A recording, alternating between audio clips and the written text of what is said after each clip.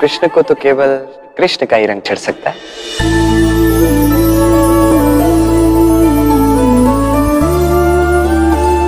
कृष्ण को रंग नहीं आई हो। नहीं। कृष्ण से रंगने आई हूँ।